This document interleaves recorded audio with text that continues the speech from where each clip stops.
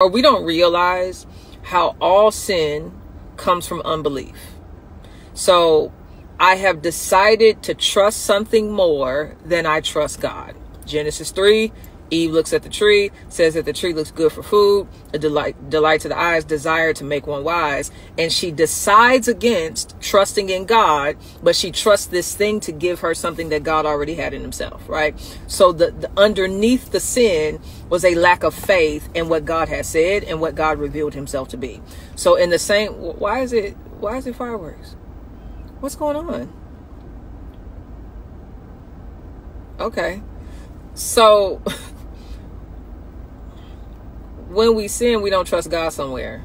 Me off so bad. So, one of the ways to know God better is is not simply that we don't have faith oftentimes is that we have misplaced faith we put our faith in something else to give us something that god already said that he had in himself right and so what is the idol identify the idol and interrogate and find out what the need is that you've attached to the idol.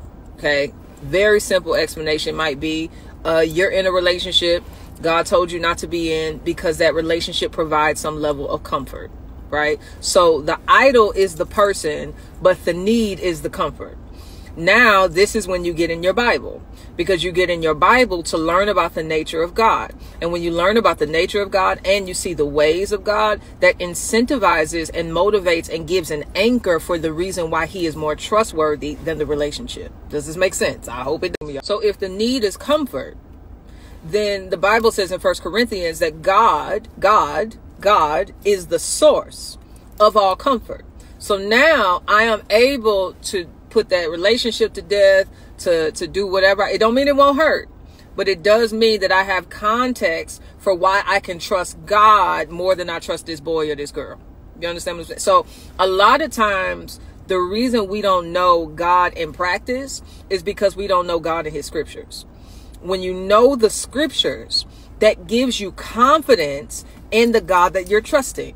Okay? So that's why you read the Bible and you pay attention to what is it saying about God? How how is it describing God? What are, whether the how do the psalmist communicate his nature? Like what is it even saying like about how God moves? Like when you read Exodus and see like God over here, he's doing the most to set these people free. He over here splitting seas and turning water to blood and locusts all over the place. So other example in the Bible, Exodus, after God done set them free, made covenant with them, all the things, they over here are feeling some type of way that Moses is on the mountain for 40 days and 40 nights. Okay.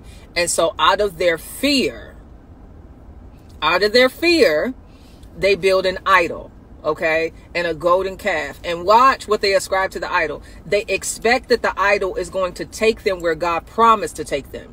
So it's it's ultimately they're scared, they have an insecurity, and they still want to go where God wants them to go. So they need guidance, they need security. All of that is legitimate needs. Being scared is human. Wanting guidance and protection is human but they put it on another thing. They put it on an inanimate object. They put it on a creature instead of entrusting themselves to the one who has already been guiding them. He was a fire by night and a cloud by day. He protected y'all from Pharaoh. He drowned them suckers two chapters ago. You understand what I'm saying? So get in the habit of when you feel inclined towards an idol or you you don't want to surrender a thing ask the question what is it what is the need that i'm trying to get met through this thing that i don't trust that god can give me right? And i'm not saying worldly so i'm saying like deep human thirst. Our soul is thirsty but we are going to illegitimate sources to get filled right? To get our thirst quenched and so I think this is why I be pushing so much, putting so much energy and saying, y'all gotta stop listening to these teachers that's not teaching y'all about God because what they're not doing, they're not training you to know how to surrender. My God.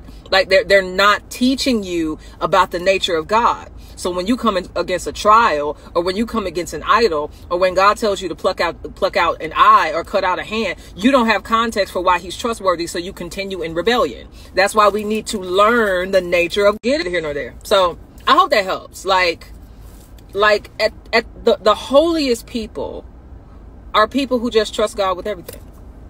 Think about that. Like holy people are dependent people Sinful people are independent, autonomous people. And so to grow in holiness, we have to grow in faith. We have to grow in trust towards God. Uh, so I talk about this more in my book, Holier Than Thou. I, I talk about how the nature of God, primarily his holiness, incentivizes our faith. And therefore, our trust in him is what makes us holier and stuff like that. All right, lesson is over. Bye.